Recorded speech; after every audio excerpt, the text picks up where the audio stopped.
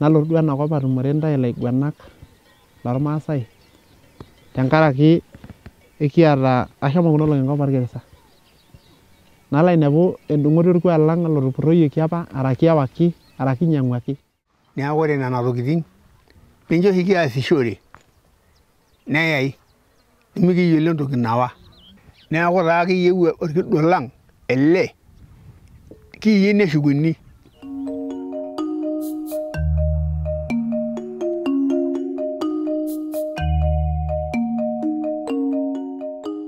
In our strategic plan, it's very much about some of our guiding principles where we see that's exactly what we want to do. We want to um, be part of a process of redress. We want to actually collaborate with stakeholders, and the Maasai are very much a stakeholder for us.